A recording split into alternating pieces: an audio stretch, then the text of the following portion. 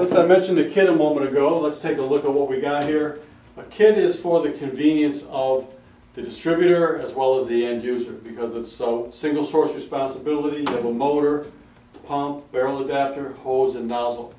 Now we've offered kits for many years, but uh, one thing we didn't like about the kits was that we might they might be set up, for example, an acid pump kit and PVC braided hose. Well, that's not good for every every asset out there. Matter of fact, it'd be a liability concern. So what we did here is we took a pump that normally has Viton and we uh, PTFE fitted it and the hand nozzle that's normally has a Viton component, we did Kalrez and the hose is, P, is uh, Teflon lined. So basically it's bulletproof. If you select the right material pump, poly, Kynar, or stainless steel, you, you've got every, every other wedded component is going to be covered and, and, uh, and you you'll be protected, the customer will be protected.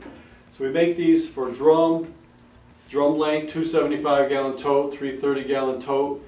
We make them with uh, electric motors as well as explosion proof options in electric or air. So please, please keep these in mind and you can find the kit information also on the app.